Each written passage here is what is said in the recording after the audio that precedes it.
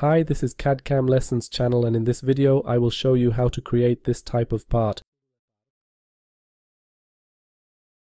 Let's start a new project in the part workbench and add a cylinder with a radius of 20 millimeters and a height of 50 millimeters.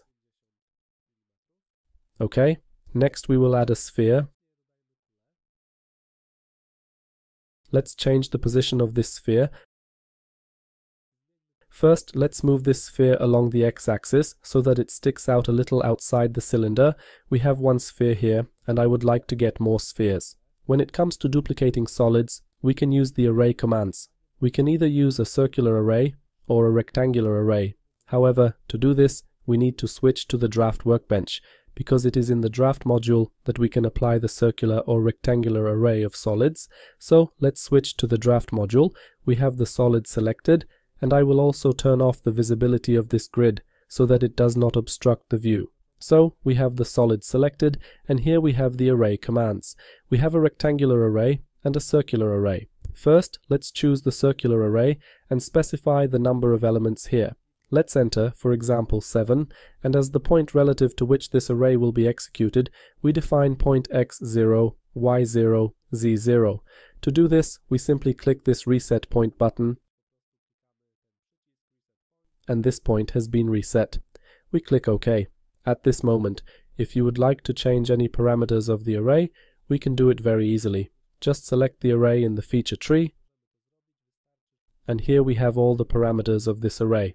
We have the number of elements and can increase the number of elements. Here I change the number to 9 and now I just need to click the left mouse button somewhere outside this field and the number of elements has been changed. Now, since we have selected these elements, we have added a circular array.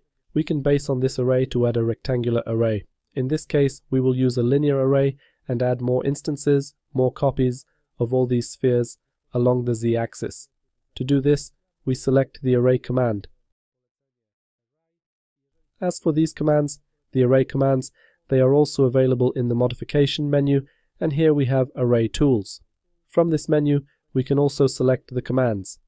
We choose the array command and here we specify the parameters of this array. First we specify the number of elements in the x-axis. We don't want additional copies, so we change this to 1. In the y-axis similarly, we don't want additional copies, so we change this to 1 as well. As for the z-axis, let's enter 5 here. Now we go to the section with intervals and here we specify the offset value in the z-axis. I will enter 10 millimeters here. In this case, just like with the circular array, we can also change the parameters of this array later. So now I click OK and it looks like this. In this case, just as with the circular array, we can also change the parameters.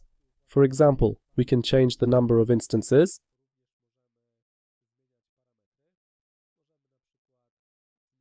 And that has been applied. However, I will return here to 5 instances. And now it looks like this. But as for this array, this array is a combination of two arrays, a combination of a circular array and a linear array. There is also an element here on which this array was based. We can make changes to individual elements all the time. Furthermore, we can also change the position of this array. To do this, we select this array, go to the Properties, Placement, Position, and in the z-axis we can move it for example 5 millimeters up. In this way we got something like this.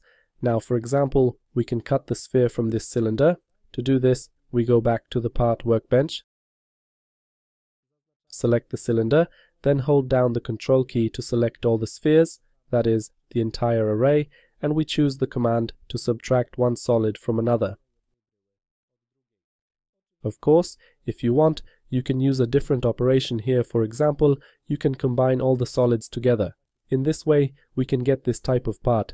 Of course, the aim of this lesson was not to design this part, but on this example, I wanted to show you how to apply arrays to solids, as it is not so obvious, and you need to use a different workspace for this purpose. Using arrays of solids can be very useful in many cases.